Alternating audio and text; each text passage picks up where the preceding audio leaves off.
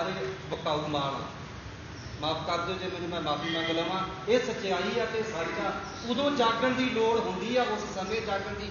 ਉਦੋਂ ਅਸੀਂ ਭੂਕ ਕਰੋ ਜਾਂਦੇ ਆ। ਅੱਜ ਜਦੋਂ ਸਾਡੇ ਚਪੇੜ ਮਾਰਦਾ ਨਾ, ਅਗਲਾ ਕੇ ਥੱਪੜ ਮਾਰਦਾ, ਫਿਰ ਫਲਾਣੇ ਨੂੰ ਕਹਿੰਦੇ ਫਲਾਣਿਆਂ ਬਚਾਈ ਮੈਨੂੰ ਮਾਰਦਾ ਹੀ ਆ। ਆਪਾਂ ਇਕੱਠੇ ਹੋਈਏ, ਇਕੱਤਰ ਹੋਈਏ ਹੋਵੋ ਇਕੱਤਰ ਮਿਲੋ ਮੇਰੇ ਭਾਈ ਦੁਬਦਾ ਦੂਰ ਕਰੋ, ਲਿਵ ਲਾਈ।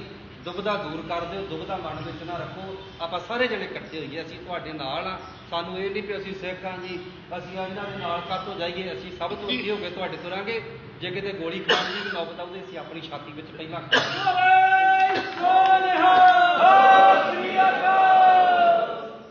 ਸਭ ਤੋਂ ਮੋਹਰੇ ਹੋ ਕੇ ਤੁਰਾਂਗੇ ਅਸੀਂ ਪਹਿਲਾਂ ਵੀ ਖਾਂਦੇ ਆਏ ਆ ਮੇਰੇ ਤਕਰੀਬਨ 12 13 ਕੇਸ ਪਾਤੇ ਸੀ ਸੱਚੇ ਪਾਤਸ਼ਾਹ ਦੀ ਕਿਰਪਾ ਦੇ ਨਾਲ ਸਾਰੇ ਬਹਾਲ ਹੋਏ ਨੇ। ਹੋਰ ਪਾ ਦੇਣ 5-7 ਸਾਨੂੰ ਕੋਈ ਫ਼ਰਕ ਨਹੀਂ ਪੈਂਦਾ। ਖਾਲਸਾ ਜਾਂ ਜੇਲੇ ਦਾ ਜਾਂ ਰੇਲੇ ਇਹਨਾਂ ਕੋਲੇ ਦੋ ਹੀ ਸ਼ਬਦ ਹੁੰਦੇ ਨੇ।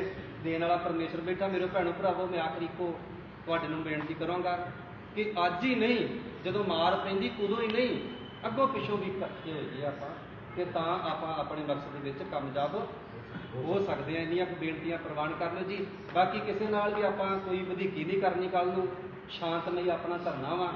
ਤੇ ਜਿਵੇਂ ਵੀਰ ਜੀ ਨੇ ਕਹਿ ਚੁੱਕਿਆ ਪਹਿਲਾਂ ਅਨਾਉਂਸਮੈਂਟ ਕਰਵਾ ਦਿਓ, ਕਿਉਂਕਿ ਕੋਈ ਗਰੀਬ ਵੀਰ ਸਬਜ਼ੀ ਲੈ ਕੇ ਖਰੀਦ ਕੇ ਲੈ ਆਉਂਦਾ, ਉਹ ਕਹਿੰਦਾ ਮੇਰੀ ਤੇ ਸਬਜ਼ੀ ਖਰਾਬ ਹੋ ਗਈ। ਕੋਈ ਫਲ ਲੈ ਆਉਂਦਾ ਕਹਿੰਦਾ ਮੇਰਾ ਫਲ, ਮੇਰਾ ਨੁਕਸਾਨ ਹੋ ਗਿਆ। ਉਹਨੂੰ ਪਹਿਲਾਂ ਹੀ ਸੁਚੇਤ ਕਰ ਦਿਓ, ਭਾਈ ਕੱਲ ਨੂੰ ਪੰਜਾਬ ਬੰਦ ਆ, ਸ਼ਹਿਰ ਬੰਦ ਰਹਿਣਾ, ਤੇ ਤੂੰ ਜੇ ਕੁਝ ਖਰੀਦ ਕੇ ਲਿਆਉਣਾ ਤੇ ਆਪਣੇ ਘਰ ਜੋਗਾ ਲਿਆ ਸਕਦਾ ਬਾਜ਼ਾਰ ਬੰਦ ਕਿਉਂਕਿ ਅਨਾਉਂਸਮੈਂਟ ਪਹਿਲਾਂ ਕਰਵਾ ਦਿਓ। ਆਪਾਂ ਕਿਸੇ ਗਰੀਬ ਨਾਲ ਵੀ ਧੱਕਾ ਨਹੀਂ ਕਰਨਾ। ਇਹ ਬੇਨਤੀਆਂ ਪ੍ਰਵਾਨ ਕਰ ਲਓ ਜੀ ਹੋਈਆਂ ਗਲਤੀਆਂ ਦੀ ਖਿਮਾ ਕਰ ਦਿਓ। ਵਾਹਿਗੁਰੂ ਜੀ ਕਾ ਖਾਲਸਾ। ਵਾਹਿਗੁਰੂ ਜੀ